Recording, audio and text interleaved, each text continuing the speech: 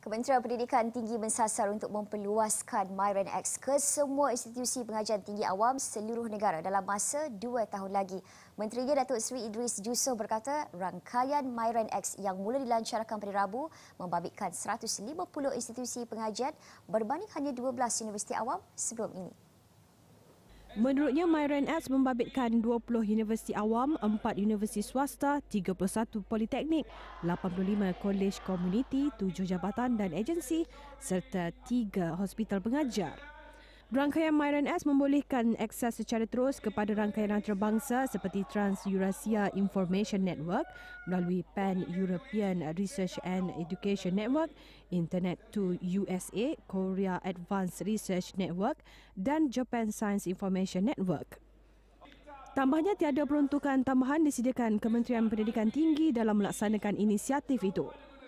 There's no extra cost to the government kerana ini melalui uh, uh, broadband access ini yang dilaksanakan oleh Marian uh, tidak ada peningkatan kos tidak ada additional cost kepada kita menggunakan uh, kontrak-kontrak lama dengan meningkatkan tadi saya katakan tadi daripada 5 hingga 100 memang approach yang berbeza Melalui aplikasi Sifulan, semua pelajar universiti boleh mendapat akses jalur lebar Myron X termasuk melakukan penyelidikan dan pendidikan.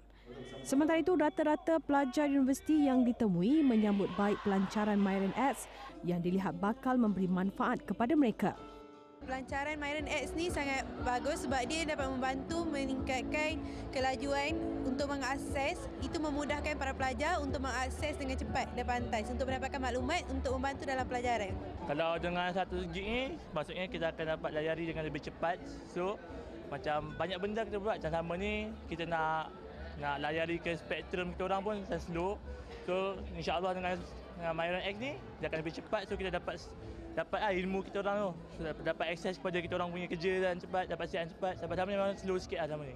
Myron S turut memudahkan sistem pembelajaran dan pengajaran cloud computing, analisa big data dan grid computing.